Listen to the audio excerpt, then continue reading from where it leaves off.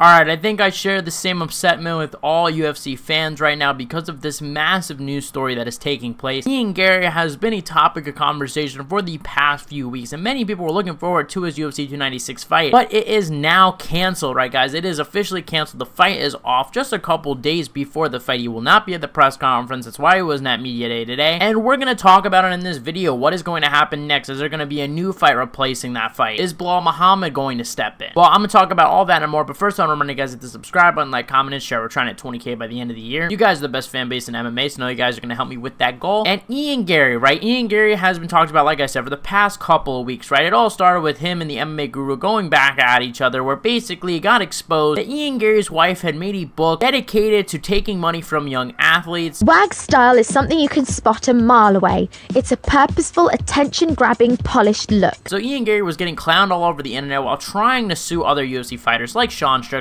for uh, basically attacking Ian Garry and talking about the situation. A lot of people wanted karma for Ian Garry. A lot of people wanted to see him get beaten up by Vicente Luque, a guy that I thought could beat Ian Garry. I made the prediction video yesterday and I said, look, Ian Garry I think absolutely has a chance at beating Vicente Luque, but I think Vicente Luque might be just a little bit better. Well, unfortunately, it just came out literally a couple minutes ago. It is official that, yeah, Ian Garry is not going to be fighting this Saturday, and it's not what you think. Your immediate thought was, yeah, Ian Garry is definitely lying. He just doesn't want to go to the press conference. He doesn't want to face the people booing him because the whole situation, the whole controversy going around him. But we have some more details. But how did this story break out? Jesse on Fire, another MMA YouTuber, credit to him because he apparently was the first one to report this. And Chael Sonnen basically picked it up and made a video talking about how he knew about the situation, basically alluding that Ian Garry had a very serious sickness, but also saying that his baby also might be sick and might be hospitalized. At a hospital himself, he was not feeling well and he has taken his child to the hospital right now,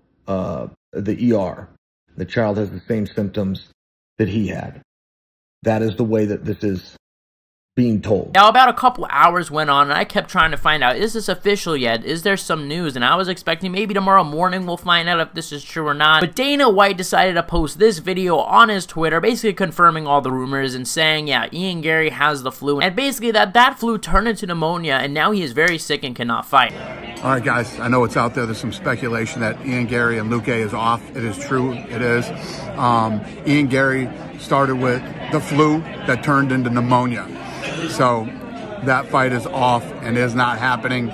It is true. Now, I'm super disappointed that this fight is not going down, regardless of, I don't care what the truth is. I don't care if he pulled out because he was sick or he wasn't. Either way, I'm still disappointed. Wanted this fight to happen, and it was a good matchup, too. But is this legit? Is this real, guys? I'm going to say I do think that this is real. Dana White himself did come out and confirm this, and Chael Sonnen also said a very similar thing. It happens, and people are getting sick all the time. I mean, I don't know about you guys, but I'm hearing stories of so many people getting sick. It's flu season. The sicknesses are going around. COVID's going around. Everything's going around right now in this type of year. So I do believe it. I think it is possible. Very disappointing nonetheless. But if he was lying about it, I mean, it would make sense. I think this would be a good move for Ian Garry to maybe pull out because, listen, although the fans would probably be against him, we kind of saw with Paddy, right? After he got injured, he kind of took that year off, and now the heat is off Paddy now. So maybe a little time off for Ian Garry. Maybe this fight is rescheduled in a couple months, maybe that's actually a good thing for Ian Garry. Maybe this is all blessing in disguise, maybe people will get over this whole controversy. And I just think a lot of people are having a hard time believing it because Ian Garry has been missing for the past few weeks, right? The guy has barely said anything about this whole situation other than just a couple vague tweets, privating his Instagram. Alright, Ian Garry spoke to Ariel Helwani. This just came out while I was editing, and Ian Garry said, I have pneumonia. They tried everything to help me. In the end, UFC doctor said there's no chance I can fight. UFC doctor made the call. This annoys me more than anyone. I want to fight. It's my favorite thing to do. Ariel also said at the end that he sounded very bad. Now, that might all work out for Ian Garry, but what about Vicente Luque, right? Vicente Luque now has no opponent, did media day, did all this training camp for nothing. I mean, there's a couple things you could do, right? You got Belal Muhammad entering as a backup opponent for the main event between Colby Covington and Leon Edwards. There is a possibility where we could see Belal Muhammad weigh in, Vicente Luque still weigh in, and maybe they make a matchup between him and Belal Muhammad. Now, here's the main problem, right? These guys have actually not even fought once. They fought twice. First time, if you recall, happened at MSG, right, where Belal got knocked out by Vicente Luque, and then in that rematch, Vicente Luque lost to Belal Muhammad in a pretty dominant fashion, and I just don't think that there's necessarily a clamoring for that that fight, so I think that fight is better off just not being made. But it does suck for Vicente Luque. Now, look, it is not done yet. I mean, there are other welterweights weighing in on the card. You never know what welterweights are going to fall out. For all we know, Shavkat or Wonder Boy could miss weight. There's a lot of different opportunities for Vicente Luque. I still think he should weigh in because there's so many welterweight matchups that maybe he could just slide into right away. However, though, I do think that Kevin Holland is trying to get this matchup. Now, if you look at Dana White's Instagram where he posted this, you could see the top comment is Kevin Holland basically with the phone emoji, basically trying to say, hey, give me a call. I will fill in short notice against Vicente Luque. And he also tweeted about the situation dissing Ian Garry. Now, Kevin Holland in the past has trash talked Ian Garry, so I'm not surprised by this. But why is he so active? Why is he tweeting this? Why is he commenting the phone emoji? To me, I think that Kevin Holland is willing to step in on short notice. And a few things about Kevin Holland, right? Kevin Holland has stepped in on short notice numerous times. And the guy really is not that big, right? You could probably cut weight to 170 rather easy. I mean, the guy apparently walked around at 185 when he was competing at a middleweight. So he could probably wind up cutting that weight and making the fight. However, what's more problematic is the fact that Kevin Holland, right, now it's Wednesday night, he has to weigh in on Friday morning. Now, it is possible, however, is he really going to be able to fly to Las Vegas, cut the weight, get his team together all on short notice? Keep in mind, this is also nighttime, so basically he doesn't even have Wednesday. He basically has just all day Thursday to book a flight, get there. My guess is that this might not be working out as much as Kevin Holland might want to step in, and I just think that him and Kevin Holland would make sense. I mean, this would be Kevin Holland's opportunity to get a guy ranked above him after losing to Jack Della Maddalena in a very close fight. Jack Della Maddalena is getting Gilbert Burns, it turns out. So it's kind of in a similar realm, and it would help Kevin Holland get back on track if he does beat Vicente Luque, which is a thousand percent a winnable matchup for Kevin Holland. However, it's going to be tough without a training camp, and that would be a fun fight to add to the final pay-per-view of the year. But my guess is that that probably won't happen. It just seems a little bit too short notice. However, you never know. I don't know when is the earliest flight to Texas. Maybe if they get this done tonight, they get a 6 a.m. flight or something like that. Start cutting weight on Thursday. Maybe they make it a catch weight. You don't know. I'd assume they probably would have to make it a catch weight, right? We're going to find out regardless. And for Ian Garry, I mean, what does he do after this, right? Ian Garry has had the worst couple of weeks of his professional career. There are going to be a lot of MMA fans still trying to say, yeah, Ian Garry just ducked Vicente Luque. Ian Garry was trying to duck the pressure of all these things that have been going on in the past week, right? But at the end of the day, I do believe this. This is very disappointing, especially for a guy in Vicente Luque that was literally there on media day. And apparently this is why Ian Garry didn't show up to media day. It might be a blessing in disguise for the guy. But for now, I think he's going to have a very rough couple of months, man. I mean, I'm starting to feel a little bad for Ian Garry, dude, because I know everybody's going to be in his reply saying how he ducked Vicente, how he ducked the fight week. And I know a lot of people are disappointed too because the press conference now has lost a massive, massive attraction, right? Most people are looking forward to Colby, Leon, and everyone going at Ian Garry. Unfortunate news.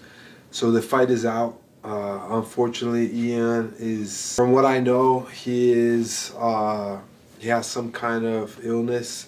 I don't know if he's in the hospital or, or how he is. I wish the best. I wish recovery for Ian. But even though Ian Garry has pulled out, I'm still excited for UFC 296. And if you guys are as excited as I am, then I suggest go clicking the videos on the screen right now where I predict all the fights. I'm talking from Shavkat Rakhmonov to Stephen Thompson, all the way to Leon Edwards, Colby Covington, Paddy Pimblett. All these fights, if you guys want to hear my prediction for them, I'm putting them on the screen. Some of them have their own video. Some of them are just in a big compilation. Let me know in the comment section below what you guys think of the video, guys. Thank you guys for watching. You guys are the best fan base in MMA, and I'll see you guys in the next one.